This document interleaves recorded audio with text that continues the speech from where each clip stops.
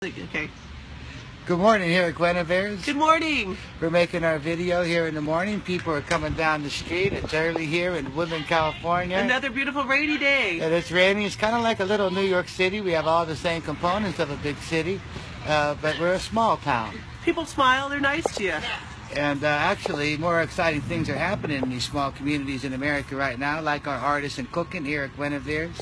And like my beautiful wife, what are you cooking today, babe? Oh, today we're going to have wonderful paninis, Marco, with salmon and bacon and brie. And you can put chicken on that or pulled pork.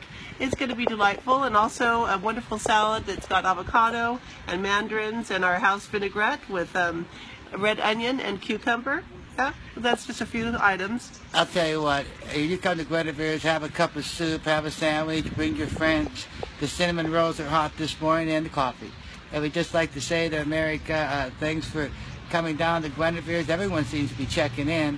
And for those that wouldn't, haven't been there, just give uh, Guinevere's a chance instead of going through the drive-through in the morning for your coffee. It's truly the heart of California. Actually, See, we are the heart of California. Actually, right now, you could come in here and get an espresso quicker than you can in any drive-through in town. No kidding. We're And my quick, wife be happy to it's smile, and the cinnamon rolls are hot.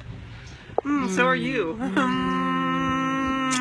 And nothing's better than loving your wife, loving your family, and loving America. All the and special loving people the world. around you. And Yes. you know, I want to say something about a loving God that just passed away. His name is David Bowie. we He- loved you, David Bowie. We love you, David Bowie. Your We spirit know you're still is encompassed in all my friends. You've done so much to influence the creative people and non-creative people, and you really made us dance. You'll be missed, but thanks for leaving your music and your spirit. I just have to say that because my generation totally loved you, and other generations loved you. So Every generation, I believe. you come in and say you love David Bowie, you get a quarter off on a cup of coffee. All right.